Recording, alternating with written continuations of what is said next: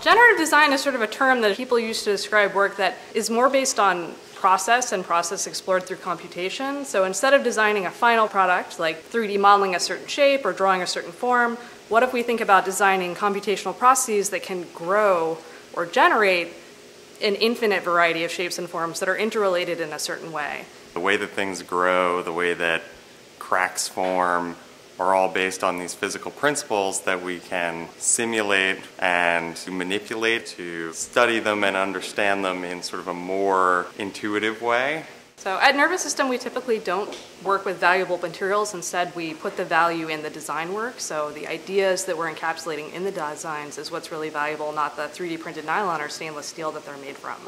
We make a lot of small scale objects like jewelry and jigsaw puzzles and the reason we're focused on the, that scale of object is we want to make things that are affordable, that both we can afford to make and people can afford to buy.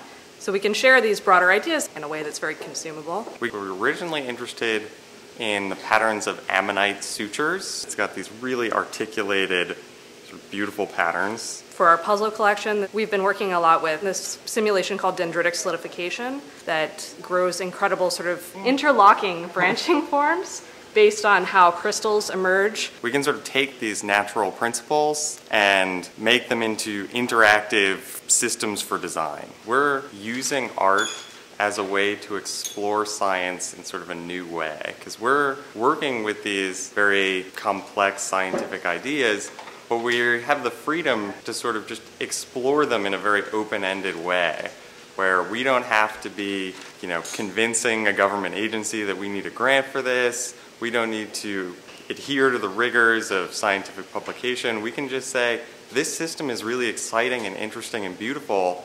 Where does it take us?